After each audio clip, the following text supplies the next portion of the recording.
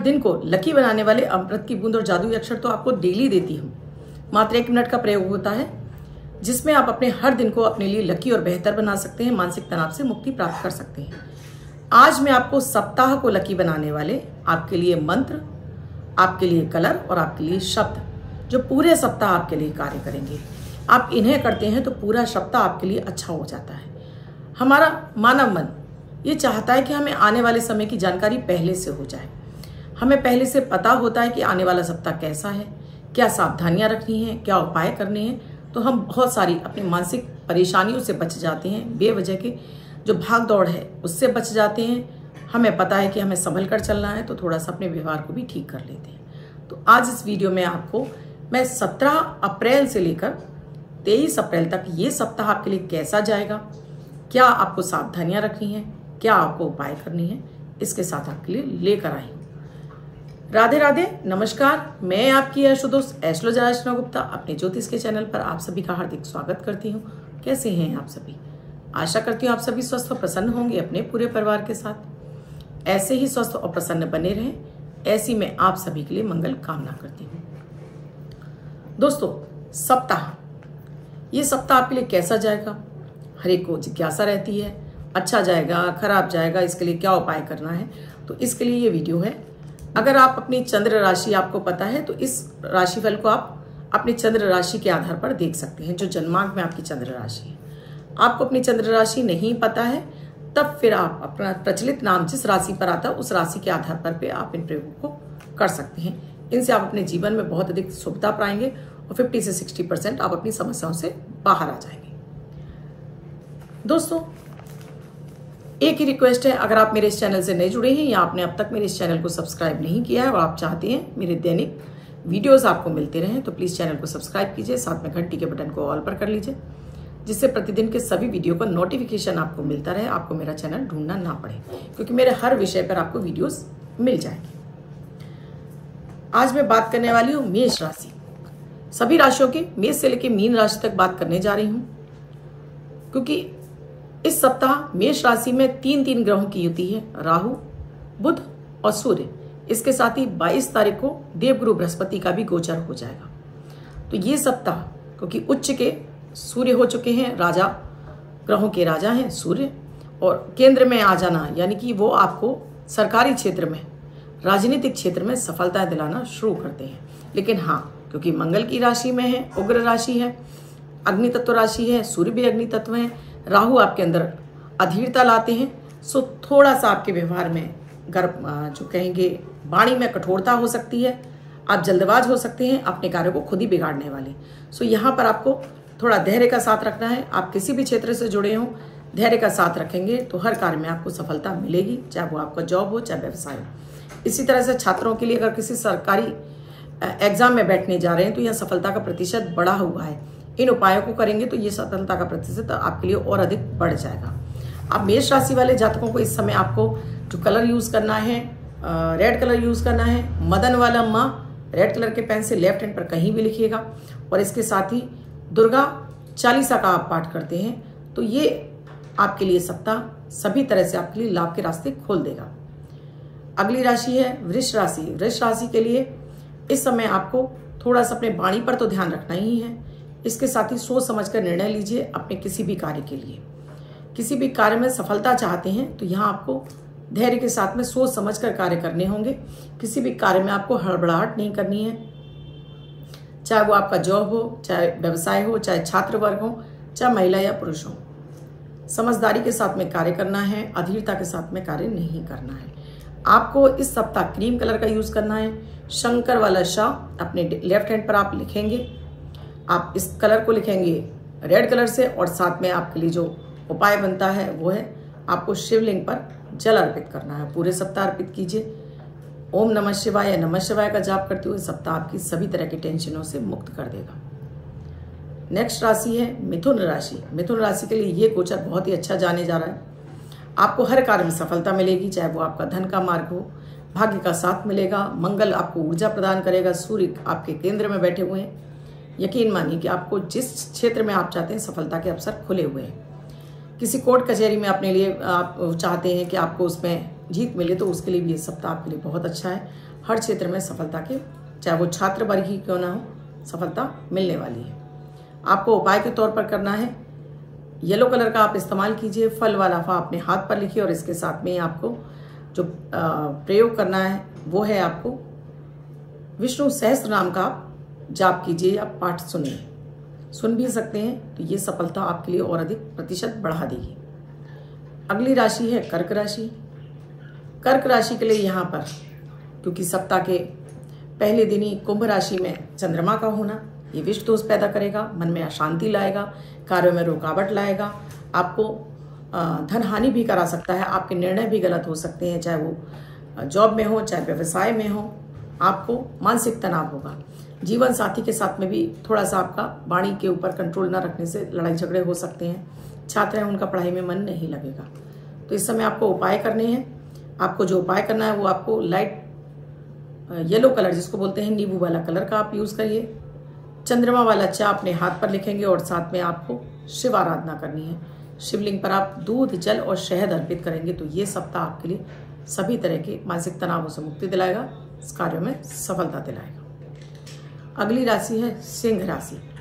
क्योंकि सिंह राशि के स्वामी बनते हैं सूर्य, जो कि केंद्र में बैठे हुए हैं, जहाँ से अपने ही घर को देख भी रहे हैं और साथ में सप्तम को नीच भंग राजयोग भी बना रहे हैं। इस समय आपके लिए सफलता के मार्ग खुले हुए हैं।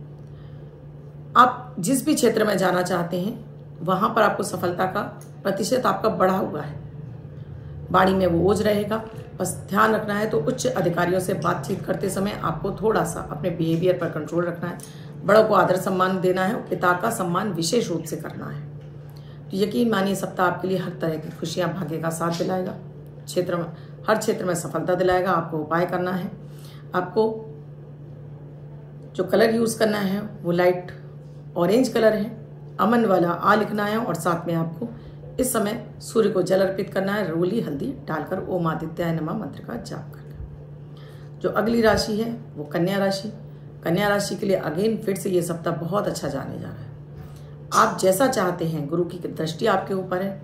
जैसा चाहते हैं, वो सफलताएँ मिलेंगी। बाणी में आपको जो भी ओझ चाहिए, जो बात आप अभी तक किसी से अपने मन की बात नहीं कह पा रहे थे, वो आप कह पाएँगे। बड़े बुज़ुर्गों का साथ मिलेगा, अधिकारियों का साथ मिलेगा। छात्र हैं तो छात्र में छात्रों को भी इस समय सफलता का प्रतिशत बढ़ा हुआ है। आपको उपाय के तौर पे करना है, आपको पीला कलर यूज़ करना है, साथ में ही पवन वाला पा अपने हाथ पर लिखना है और साथ में हनुमान चालीसा का पाठ करना है। तो ये सप्ताह का, जो सफलता का प्रतिशत है, आपके लिए बढ़ना शुरू हो जाएगा। अगली राशि है तुला राशि। तुला राशि के लिए, क्योंकि इस समय आपको केंद्र में सूर्य आपके घर पर दृष्टि डाले हुए हैं कोर्ट कचहरी का कोई चक्कर चल रहा है आपका, या आप सरकारी क्षेत्र में कोई भी सफलता चाहते हैं तो वहाँ आपको सफलता का प्रतिशत बढ़ा हुआ है।